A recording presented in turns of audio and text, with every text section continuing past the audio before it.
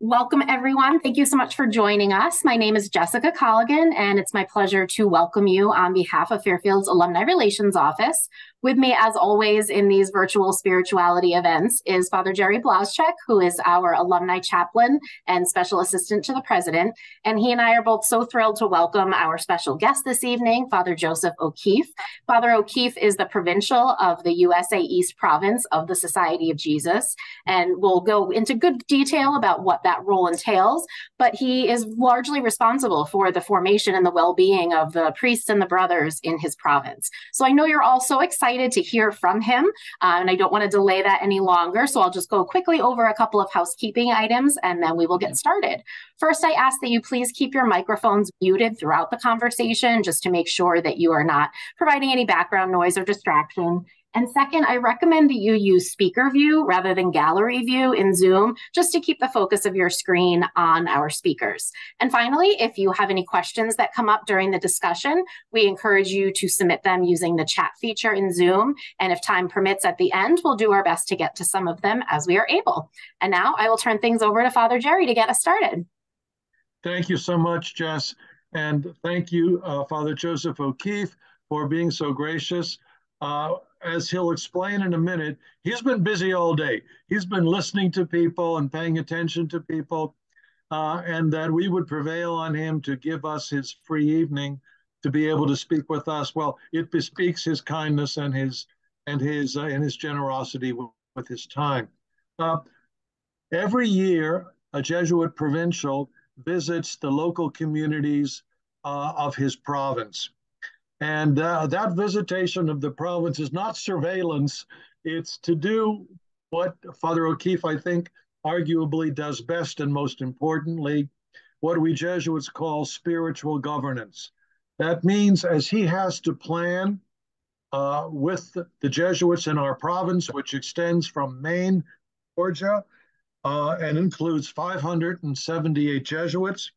Father O'Keefe may say more about the works we do, but Father O'Keefe in the institutions, which I should say do include 11 colleges or universities, 22 high schools, eight middle schools, 19 parishes, and four retreat centers. He may give us more details about those.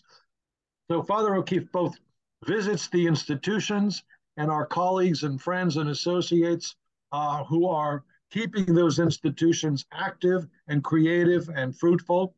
He will always visit the local bishop but his key and most important uh, challenge and responsibility is to speak to the likes of me and other Jesuits to encourage us in our own vocations, uh, to encourage us in the quality of our religious and community lives, uh, and to know us individually and to invite us into the sort of conversations that allow him to be a good superior and plan uh, with our associates and with the bishops and with Father General. We'll have a lot to say about that in the course of our of our time, of how centralized we are.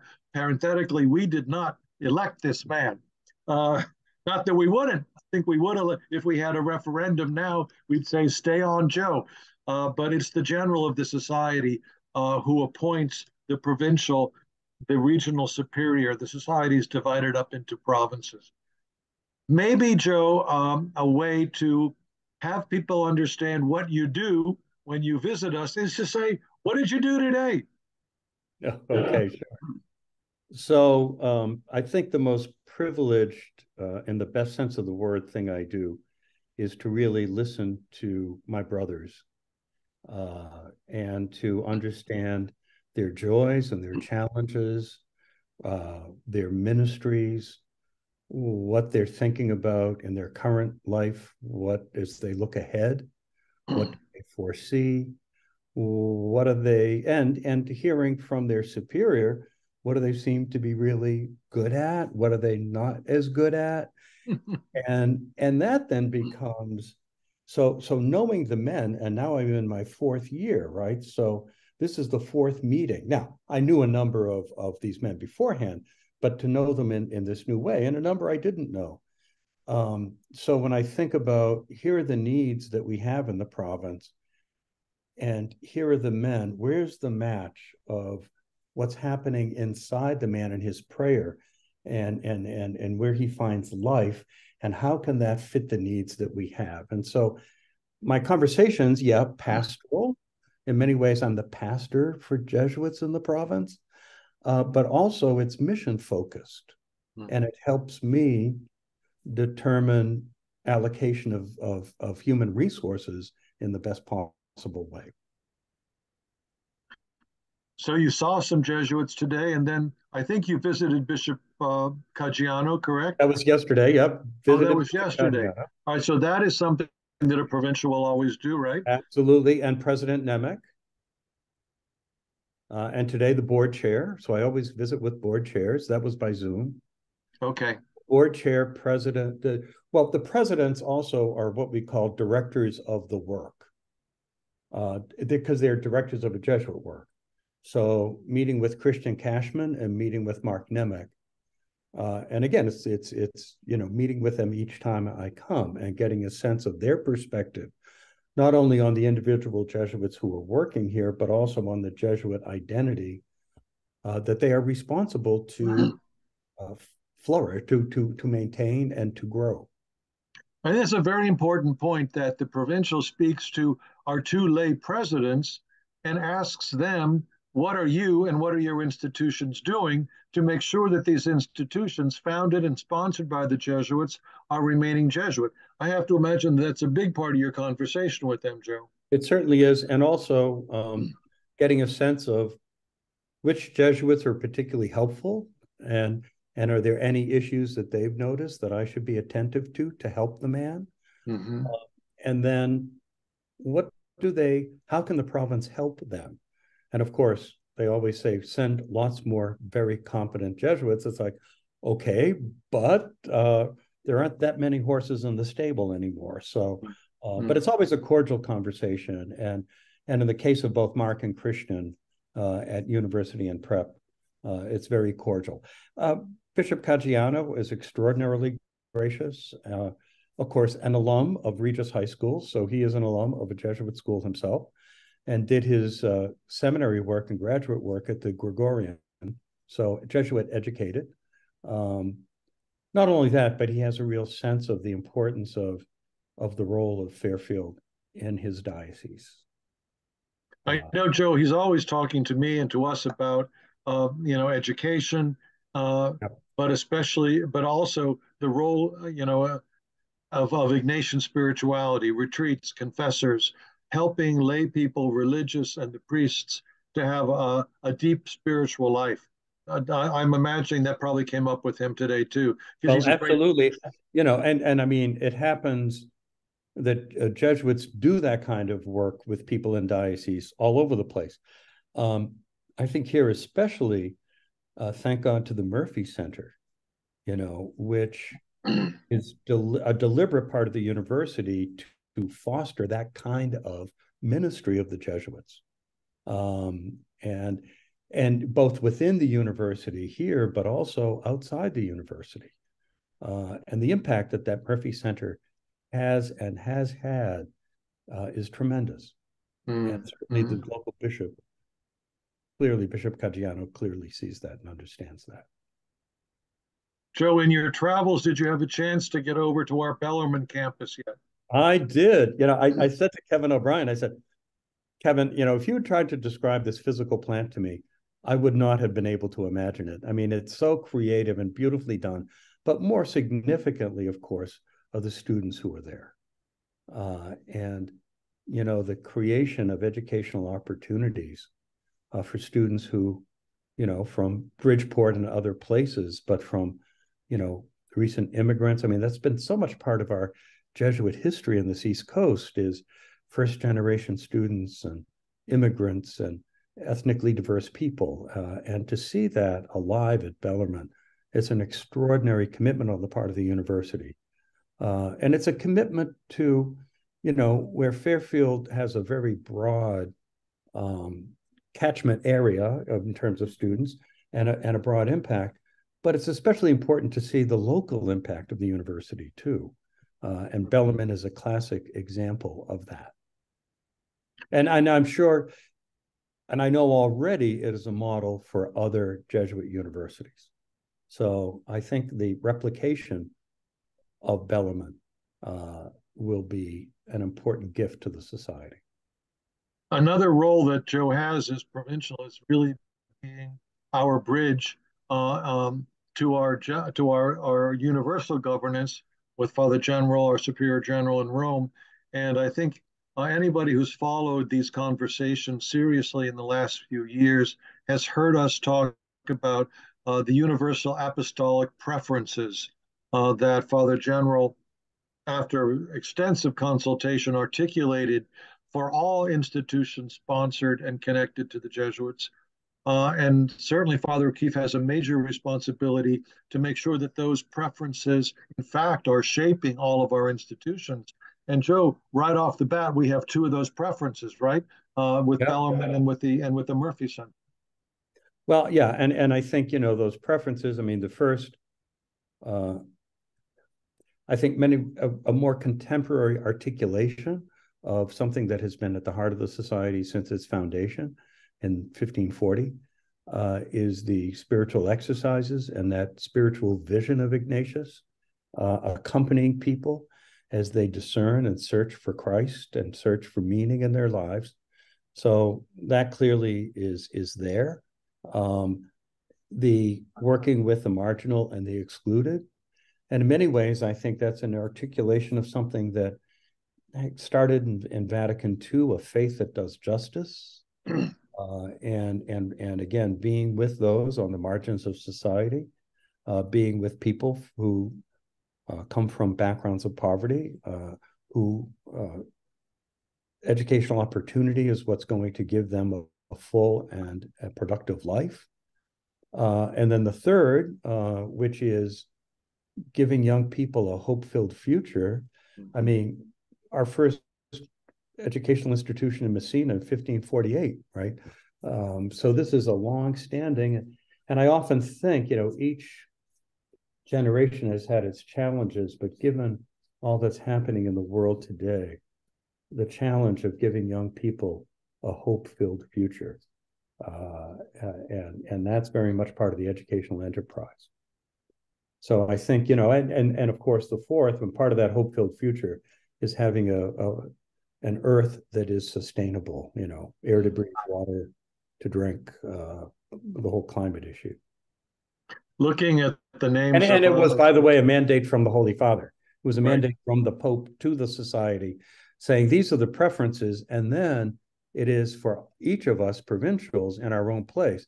What does that mean in our time and place? And you know, given the worldwide society, right?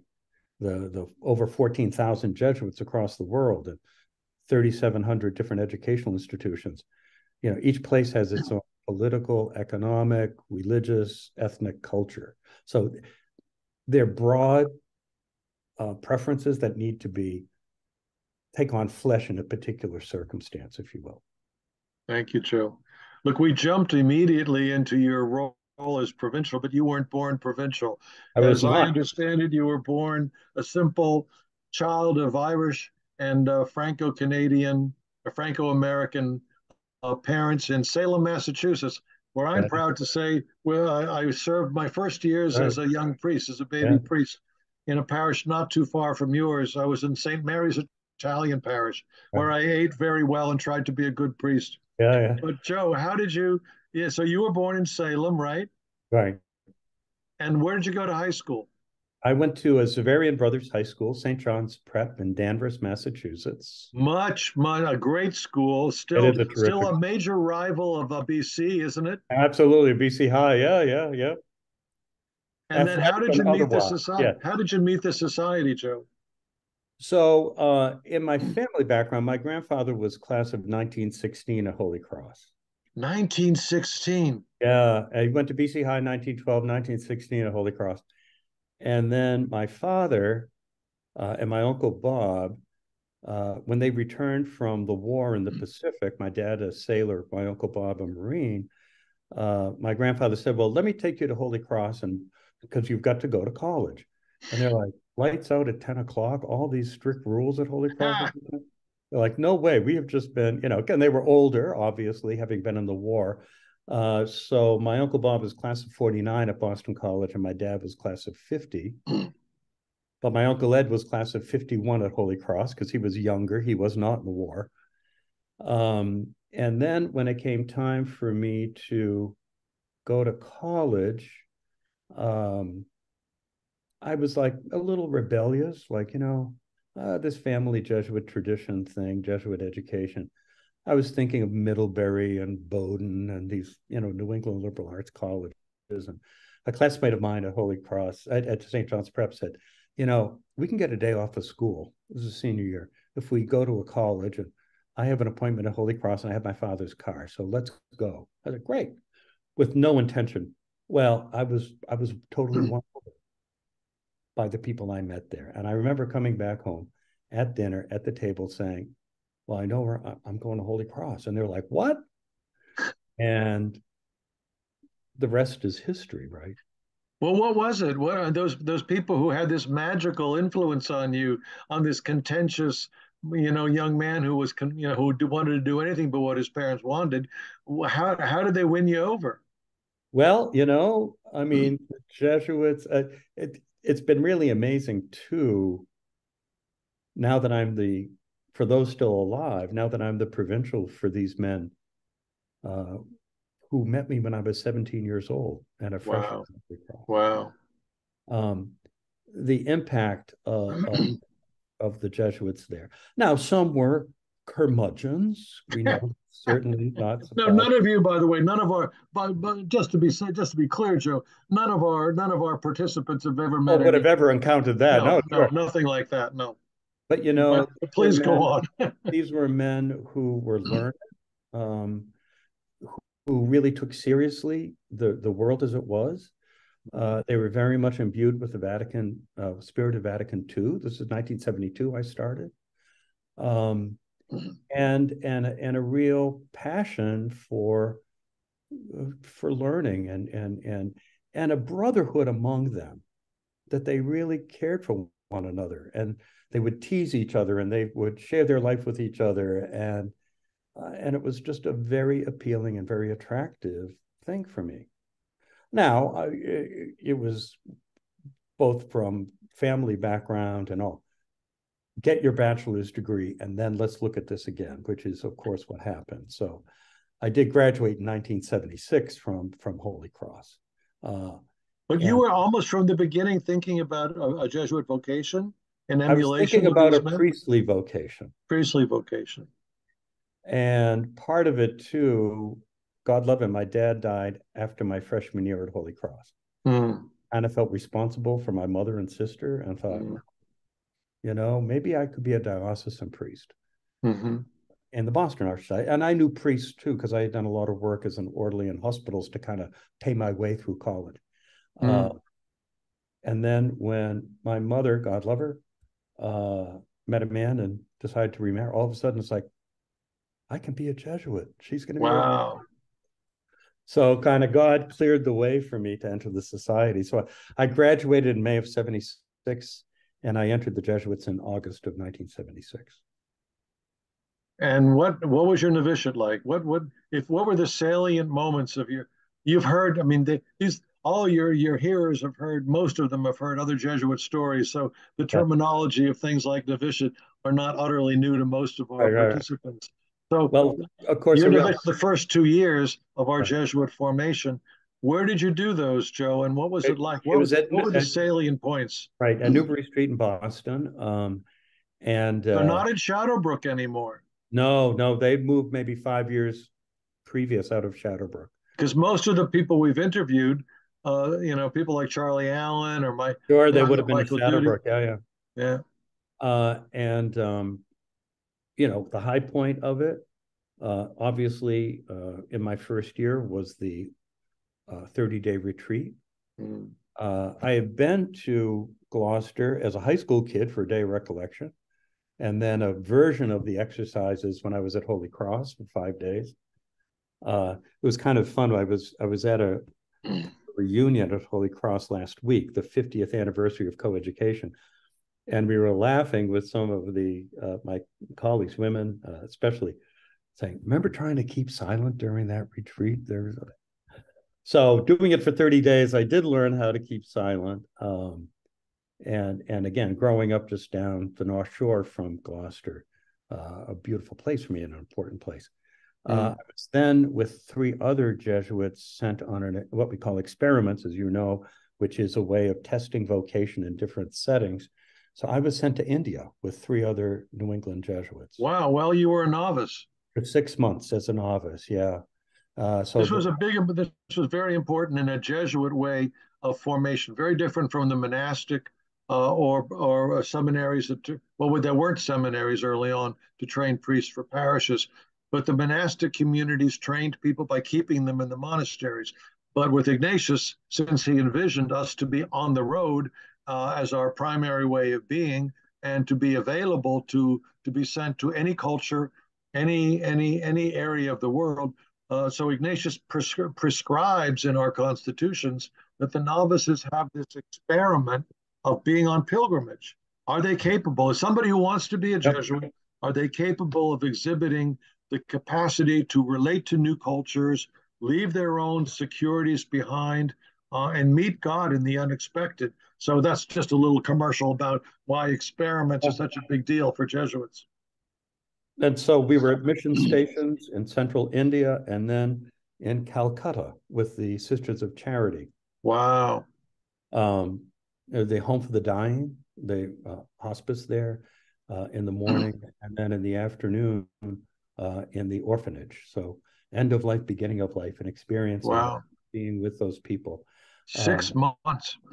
and, you know, interesting. Actually, one of the mornings working in Calcutta, went to very early morning mass. And I was right next to Mother Teresa. And Mother Teresa actually was a classmate of mine. She got what? an honorary doctorate when I got my bachelor's degree from Holy Cross. So oh my goodness. There I was, like seven months later, sitting next to her. Um, and and so that that was an extraordinary uh, multicultural experience and and uh, being with the Indian novices too, and and you know, understanding that it's one society of Jesus across right. the world. And, and right. just a brief anecdote that uh, when I was at, uh, I was a delegate at the 36th General Congregation uh, and a delegate from the Patna province, Susai Raj. And a couple days into the congregation, I said, Susai, do you remember the New England novices who came in? He said, I do. Later that day, he sent me a JPEG of a picture of the New England novices and the Indian novices. Both he and I were there. And it's like, who would have thought we'd be at a general yeah. congregation all these decades yeah. you know? So it's amazing how things happen. So, and and then in my second year, again, back in, in Boston, learning about the society, um, doing pastor, I did a lot of work with a group called Samaritans. Mm-hmm. And Samaritans, it's a it's a it's a uh, hotline for people who were suicidal. Uh, and then I went to Fall River, Massachusetts, and taught French full time in the high okay. school. And then you know, uh, so much of it gave my whetted my appetite to be an educator. Great. You know, when when Father O'Keefe mentions being sent to India, um, he averted to the fact that Jesuits, from the very beginning of their orientation, their formation, uh, are, um, I think, imbued, if we do it well, with the notion that there's one society and it's a global society, and the Northeast, US Northeast province may be your port of entry into the society, but that you are you enter a worldwide society and you are available in principle. And for most of us there's been some moment when in reality we're asked to be available to be of service way beyond our geographical uh, moorings and to be available wherever the church needs us. And this goes all the way back. The reason, Joe, by the way, I'm doing this is because this is under the aegis of Ignatian spirituality sure. and introducing people to Jesuit stuff.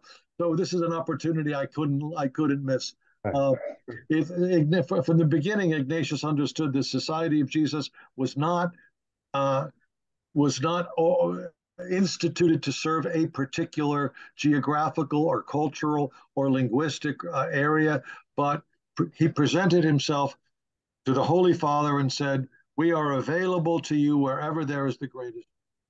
And that's not that's not a platitude.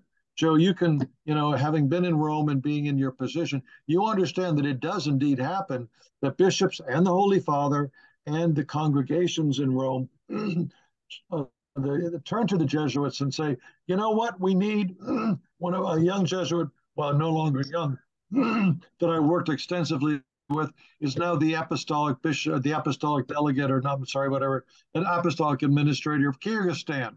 Because at oh, one yeah. stage, Holy Father said, "Okay, you Jesuits, I need you to to to to help refound and and help sustain the church in Kyrgyzstan, uh, one of those uh, former Soviet republics on the Silk Road." Anyway, Joe, you mentioned French, uh, French French language, French culture, and French education uh, was a real trajectory that you followed throughout your whole uh, Jesuit formation, right? Yeah, it, it was. Uh, I was a philosophy major, Holy Cross with a minor in French. Part of it might have been too my kind of ethnic heritage on my mother's side. Um, but then uh, when I finished, yeah. took vows, and then we go to philosophy studies, or what we call first studies. And the fact that I had had a major in philosophy I did some philosophy courses and took the comprehensive exam at Fordham for that, the, the De Universa exam, as it's called in Jesuit world. Uh, and then I did an MA in French literature. At Fordham. At Fordham. Uh, and um, of course, you know, I had studied Sartre as a philosopher, and now I study Sartre as a as an author. So I studied Descartes for his philosophical stuff. Now I study Descartes for his stylistic, you know, work. Um, so, and and with that in hand, uh, after that experience, and and I went back to Fordham many many years later to be the superior of young Jesuits studying at Fordham Scholastics. So mm. it hmm. was a big circle back to to the Bronx. Um, and and then with that degree in French, uh, I went to Cheverus High School in Portland, Maine, and taught full time for three years.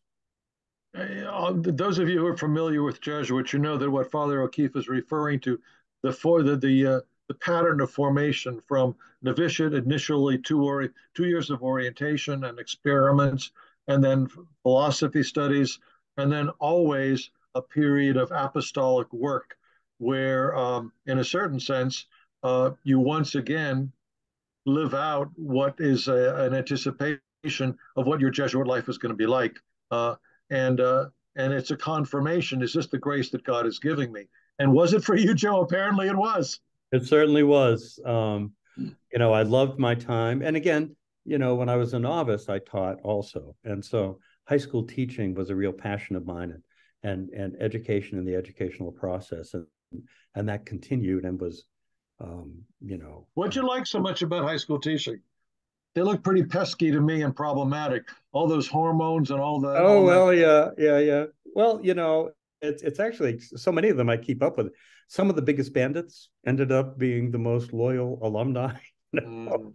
and, mm. and and you're with them, um, and there's a great sense of of joy in that. And the other aspect of it too, uh, when I was in Regency, wonderful lay women and men who were mm. Um, and while they were lay people and I was a Jesuit, but but we were in this together. And I think that's mm-hmm. a crucial part of that Regency experience. And now I see it with our young guys who do Regency experiences and who become such wonderful colleagues and friends of our lay teachers. Mm. That's certainly the story that that we keep hearing from uh, Fairfield Prep. Yeah. You know, um, previous to you last year, was it the year before, Jessica, we had Brendan Coffey, a young Jesuit regent. That's our term our terminology for these kind of interns uh, who are doing full-time work in a Jesuit-sponsored ministry. And Brendan, whom some of you have met, uh, was at Fairfield Prep, and uh, his impact on not only his students and their families, but his impact uh, just by the nature of his warmth and generosity and competence uh, and openness to his uh, colleagues at Fairfield Prep was was legendary. Uh, so I'm not surprised that the same would have happened for you. Well, and I had the great privilege and joy of being Brendan's superior when he was studying at Fordham. Uh-huh. At Ciszek Hall. So I was his rector for two years. All right. So you know, I so you were you were you were a regent, then you, I'm sorry, you were scholastic or a regent or a young Jesuit in formation, and then where did you do your theology studies? Uh, at what was then the Weston Jesuit School of Theology in Cambridge, Okay. Massachusetts, uh, which is now a division of Boston College. Okay, So I okay, did my MDiv there. I was ordained in 1986, uh, 1985 to the diaconate, 1986 to the priesthood. Uh, and then I did a second theology degree called the licentiate, Mhm. uh, and that was under the um, tutelage of John O'Malley, the Oh, well-known. those of you who know that name, the great Jesuit historian, great all-time Jesuit John O'Malley. So I had this passion for history, and especially a Ah, passion for French, and so uh, under John's direction, took some courses in Cambridge, but then also went to France to do Uh-huh. research about uh, Jesuit schools in the fifth, late 16th, early 17th century.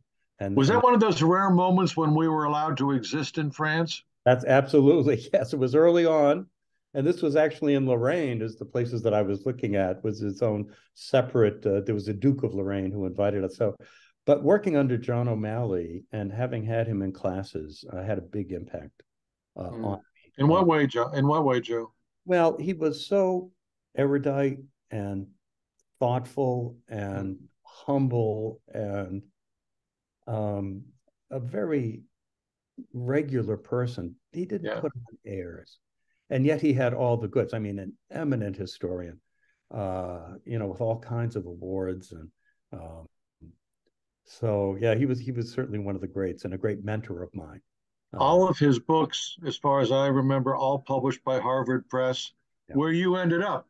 Did, right. was it uh, you ended up going back to Harvard? So I came back after my licentiate and I thought, you know, I'm really interested in how educational institutions form people, the culture of educational institutions, and the role of schools, not only in terms of transmitting knowledge and skills, but also of formation of people. And thought, you know, I've looked at that in France in the 16th and 17th centuries. I'd like to look at it in the US in the 20th century. Wow. Uh, and so that's I was I petitioned and was given permission to do a doctorate in education. I did that at Harvard. Um, Okay. And uh, my work was with a woman named Sara Lawrence Lightfoot, one of the first African American fully tenured professors, endowed professorship at Harvard. Um, and I was very interested in how Jesuit schools, Jesuit high schools in particular, uh, looking back to the time of John Lafarge and others, became desegregated and welcomed more diverse populations of Mm. lower income people and African Americans and Latinos uh, and immigrants in Metro New York.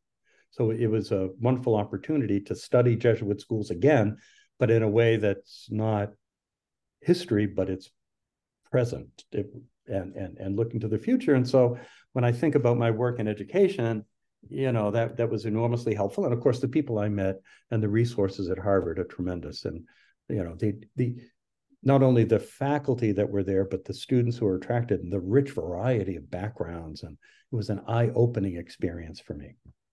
Joe, with with with the, you know with the with the uh, dearth of clergy, with the vocation crisis, with so few uh, priests and Jesuits uh, being available to education, uh, why do you think the society, even now, should put so much effort into education? And why why do you see for you know what what is so specific, uh, or can you talk about something that is so specific to what what how would you characterize the the the Ignatian Jesuit charism vis-a-vis education? And I'm again, you're, you're talking to folks, many of whom uh, have been recipients and participants in this in this mission.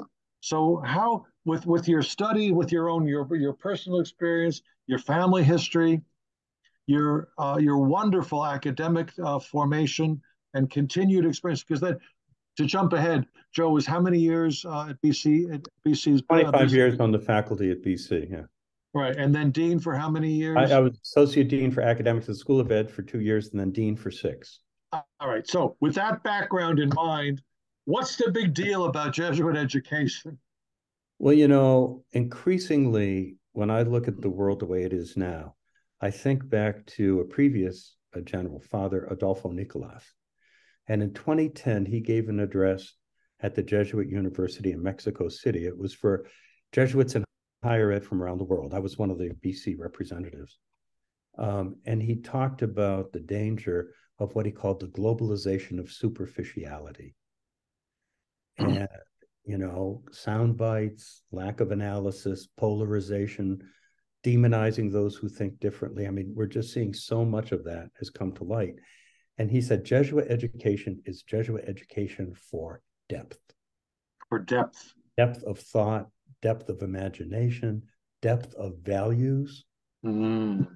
Um, and I think, given the superficiality that is so much around us, that graduates of Fairfield and other places, how do we help them do the hard work of depth of analysis and imagination? Uh, and also commitment to the greater good. Mm.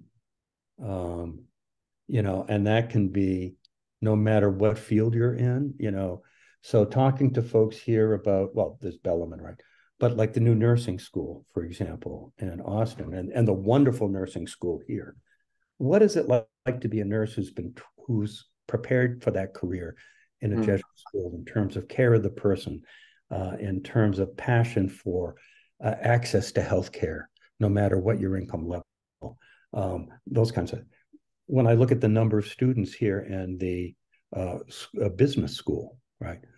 Um, ethical business practices, corporate responsibility, uh, how businesses uh, care about the communities in which they're located. How do they build them up? Um, you know, so in an array of professions, no matter what, uh, I think arguably arguably it's never been as important been as important to have a Jesuit education as it is in our day and time. Thank you, Joe. Joe. Biased, of course, when I say that, but I, that's what I believe, and that's why I that's how I spend my life dedicated to that reality. You know. And you do, and you do. I'm already, I'm away, I'm alert, alert to the fact that the, the clock is moving, and I can't uh, I can't restrain myself from asking, uh, what's it like to be provincial? What are the joys? Uh, what are the sorrows? What are the lights? What are the shadows? Sure. Yeah. Um, I mean, I, I, I don't want to. I warned you that I might ask you this, but uh, yeah, yeah. you know, be as personal or not as you like. But you know, if you could tell us what that's like, because yeah. you know, you're talking about 578 Jesuits at a time of, of uh, well, I mean, I'll let you describe it. What's it been like for you? Well, I think, you know, um, it's now year four, which is likely to be uh, six years is the normal uh, mm-hmm. tenure. Um, one of the things I think it's important to to mention uh, is the vastness of of of this. So when I became provincial on July 31st, 2020, it was the first day of the East Coast province. Uh, so uh, people would know, especially if they're from Connecticut. Back in 2014, New York and New England came together. Uh, the wedding of the Yankees and the Red Sox, which is miraculous, huh? Uh, but we survived and did well. Not uh, without some challenges, but go ahead. There were some challenges. That's a Northeast province. Uh, and then on July 31st, 2020, became the East Coast province. So I mean, you mentioned the number of institutions, the number of Jesuits, so it's huge. It's it's it's big. Um, so how to keep on top of everything? Uh, I have to say, the most consoling part of it is being with Jesuits, as you mentioned, in that manifestation of the account of conscience. And someone described it to me. It's like having a front row seat to watch God at work in someone's life and and and that's a great it's humbling it's a privilege it's consoling so i think being a pastor to to my brothers mm. uh, is important being a pastor to the elders you know so many elderly jesuits that i've met who say you know my prayer is really all about gratitude and for some of them life was not always a bowl of cherries right so at age 69 i say to my note to self grow old gracefully. Yeah. So with with my elder brother, um, you know, what is it like for a young man to be, with all the distractions and noise in the world, to be able to hear a call to religious life and to have the courage to respond to that? And so I, I am in such uh, awe of young men in this day and age uh, who were saying yes. And so when I accept young men into the society uh, and into the novitiate, and when I receive their first vows and and when I present them to the bishop for ordination, uh, that that's an enormous joy. Mm-hmm. Um, the other aspect of it is uh, I have come to realize how much our lay colleagues, not only by our mission, but care about us. Mm-hmm. And I mm-hmm. communicate that to our my brothers. They want us to live in vibrant communities. They want us to be full and and and grounded human beings um, and and the legacy that gets carried on by our lay women and lay men you know and, and we're at their side so so that's been a wonderful part of this um, and and i think you know there is a future for us and for the society uh, i've often i've been reflecting on the Sisters of Charity of New York, mm. who hmm. did such wonderful work as educators and as nurses, and you know St. Vincent's Hospital during the AIDS crisis, how they've hmm. responded, mm. and they've said we're we're going into what they call completion. That uh, they're not accepting any new members, and they haven't had new members for years, and that religious community will no longer exist. That's not the case with us. You know, we have fewer numbers and, and we look at the age distribution, we only have 44 men in formation. 44 wonderful men, but 44 men in formation out of 578 Jesuits, right? So we can't continue to be every place and do everything we've always done, but there is a future. And it's in good hands. Wow. What do you think, Jess? Should we, do you have any questions? Do you have any lists of questions yet?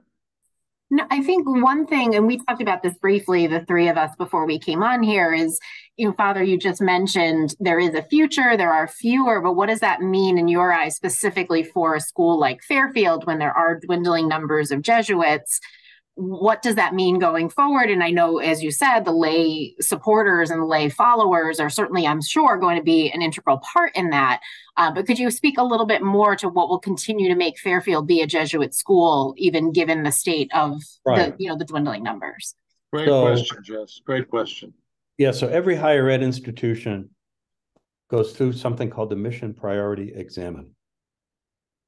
Uh, parallel on the school level is the um, sponsorship review.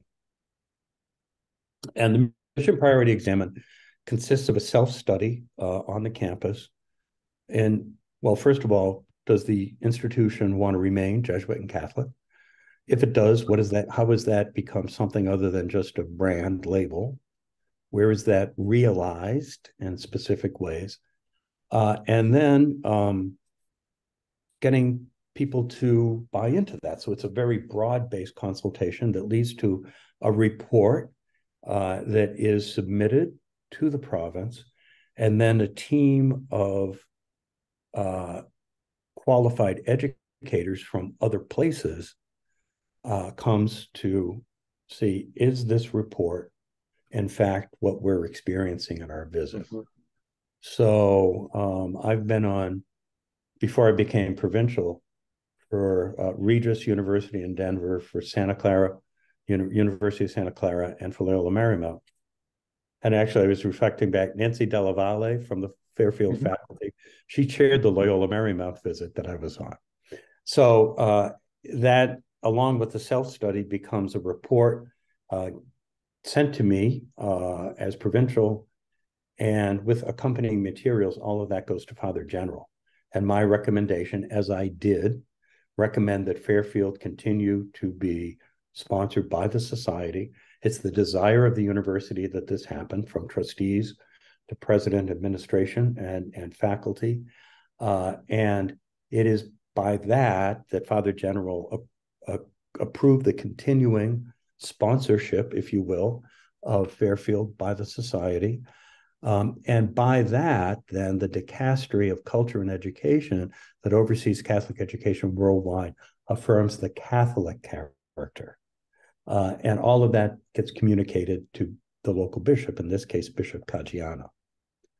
Um, and, you know, it, along at Fairfield, uh, things like um, continuing efforts uh, for access uh, for people who can't pay full freight of tuition. Certainly, Bellarmine College is seen as a crucial piece of it.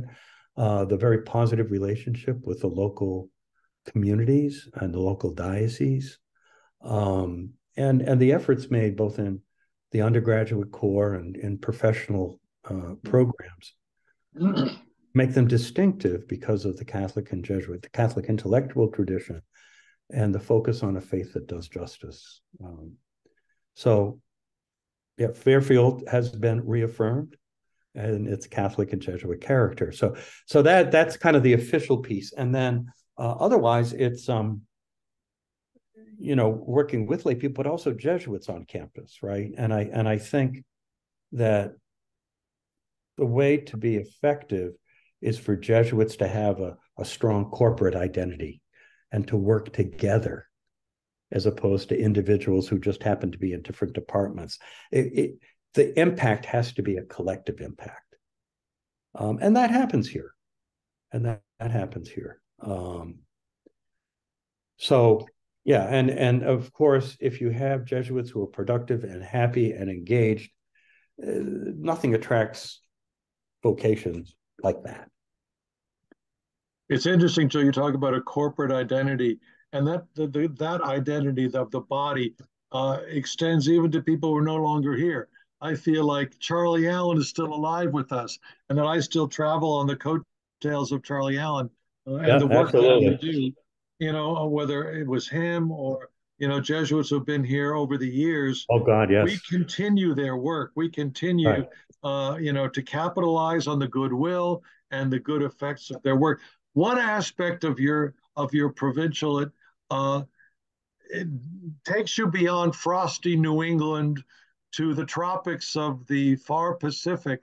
Yes. Uh, and, and, this is something that I know means a great deal to you, especially in you know uh, affirming uh, the values of Jesuit education, and that's the presence or the or the existence of Micronesia as part of where in the hell is Micronesia? And what what what did you see when you were there? Okay, so it's eight thousand miles away, uh, in the middle of the Pacific, and uh, the Pope asked the society uh, mm-hmm.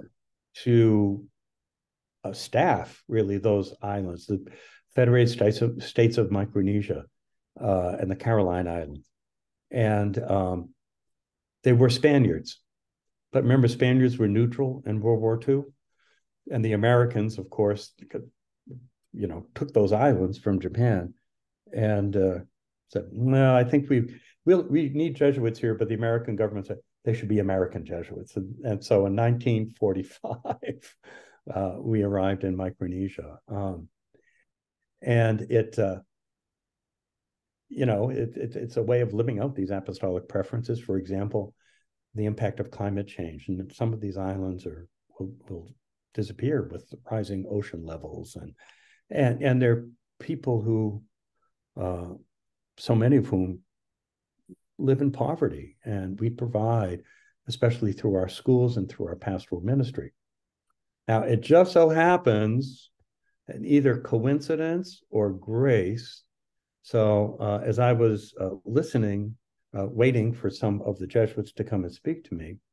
Father Mulroney, who had spent time in Micronesia, is a mentor for a Fairfield sophomore and a Fairfield freshman, both of whom went to that Xavier High School in Chuuk.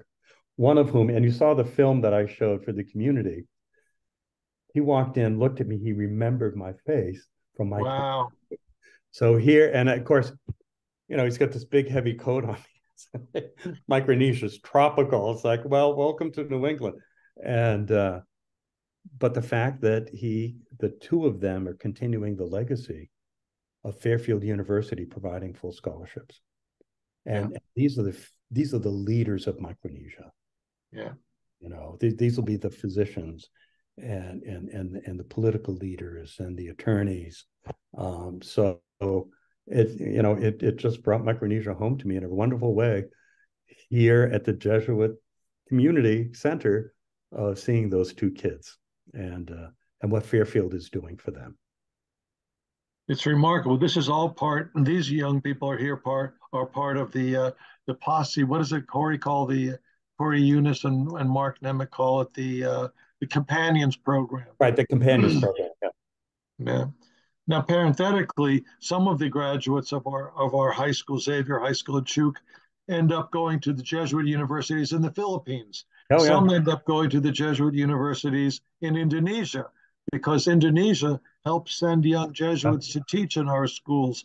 And, and end up in Sophia in Tokyo and Sophia in Tokyo. and Sophia in Japan. So, I mean, uh, this is the family uh, that we belong to. Um, Joe, uh, we're reaching close to eight o'clock. I did want to offer anybody else the opportunity. Would you like to pose a question to Father O'Keefe? Further clarification of a, something that he's already said or some issue that you'd like him to turn his attention to? I did see one other question. It may be a larger topic than we want to get into with just a few minutes left, but um, questioning your opinion on other schools, not necessarily Jesuit, on suppressing speakers or tolerating animosity in the name of free speech. Uh, vis-a-vis the Middle East or LGBTQ plus rights. Um, I don't know. That seems like maybe a longer conversation than a few Yeah, minutes. certainly but a very involved conversation. yeah. I mean, it, it, it would seem to me, at least uh, off the top of my head, and please take it as that. This is not a well thought out argument, but uh, it would seem to me that there is back to that education depth of analysis, right? And that if there are different points of view, it's the context in which those points of view are presented. Um, and it's never one sided. Now, there are limits. Hate speech cannot be tolerated. Uh, incitement to violence can never be tolerated. Uh, um, but the university should be within those limits a, a, a place for for dialogue. Um, always with the understanding that Fairfield and its sister Jesuit institutions are not value free institutions. That there is a way of looking at the world through the Catholic intellectual tradition uh, and through the legacy of the society that doesn't make it value neutral. That doesn't mean we are afraid of differing points of view. Easier said than done. I get all that. Um, I think when there are controversial issues or, uh, that arise, it's very important to inform, for example, the local bishop. And I am intent on that, and so are the heads of schools. Um, but I think a place where thoughtfully and carefully to present the Catholic perspective is is crucial. I don't know if that that's a good answer, but at least that off the top of Thank my you. sir. Thank you. Joe very graciously uh, expressed that even in this moment when the society uh, is experiencing, you know, a demographic uh, decline, he pointed out that God has been very good to us in the quality of the young men that we have, and that they are a source of hope. Um, I'm not just being polite; I'm being honest and and uh, and faithful when I say that God is taking very good care of us, even in this time of fewer fewer people available for service in the society to give us superiors like Father Joseph O'Keefe. So, Joe, thank you for your service to us, to our institutions, to our alumni, our colleagues, our friends, and thank you for spending this time with us this evening. And thank you to all of you who have taken the time uh, to learn about uh, to Joe to, to, to learn about us and to learn about Joe this evening. Thank you very much. I want to offer my my thanks as well, and I apologize if we weren't able to get to your questions, but we do want to be respectful of everyone's time. But thank you so much, Father O'Keefe, for being with us. Thank you, Father Jerry, as always, for being my wonderful partner in this. And I hope you all have a wonderful night. Thank you all so much for being here. Hey, God bless you all. Thank you. Thank you. Thank you, Joe.